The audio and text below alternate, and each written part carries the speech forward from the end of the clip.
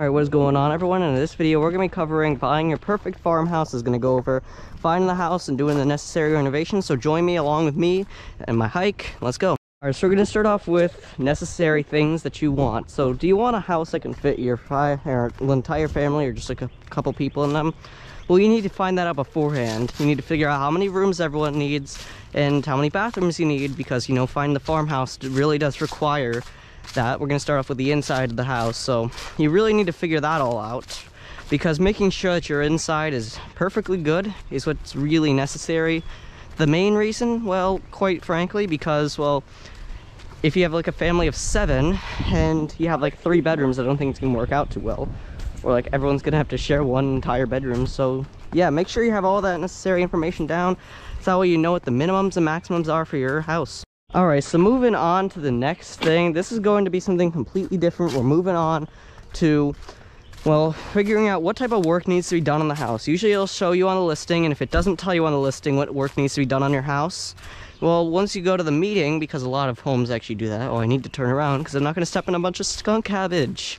Um, that's really it. You need to make sure what, you need to take note of what's inside the house. So that way you know what work needs to be done, because like 98% of the time, farmhouses have been abandoned for at least a year.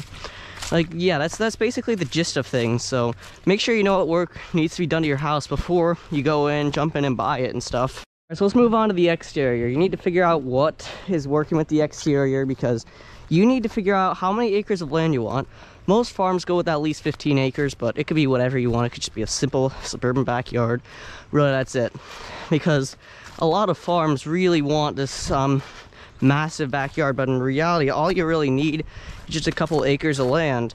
But if you really want a lot of acres of land, you need to figure out what fits in your price range. And really, if you find a lot of land in a really good house that's like 250 the land is more likely than not maintained, unmaintained, because, well, a lot of the time these really low priced houses are just because the actual house price and not like the property price because some properties haven't been maintained for decades.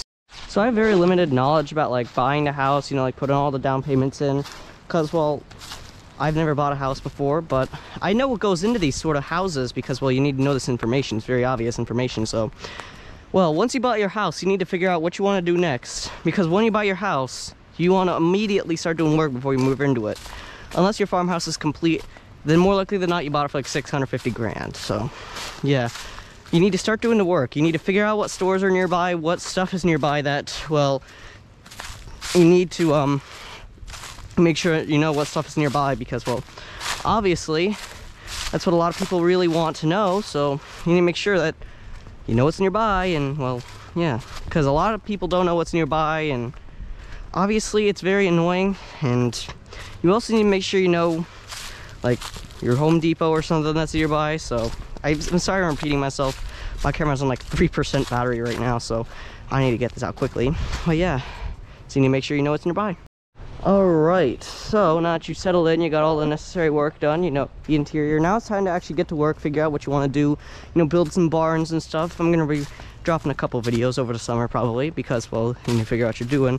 And you need to figure out what livestock you're gonna get. And i'm gonna probably be posting a couple videos about livestock in the coming days. So if you want to stay tuned please be sure to like and subscribe to the channel. And also we're building a hoop coop for my meat chickens soon. So if you want a tour on that in either a very short video or a short, please be sure to like and subscribe and, I'll, and click on one of the videos on the screen. I would be glad to see you there too. Bye.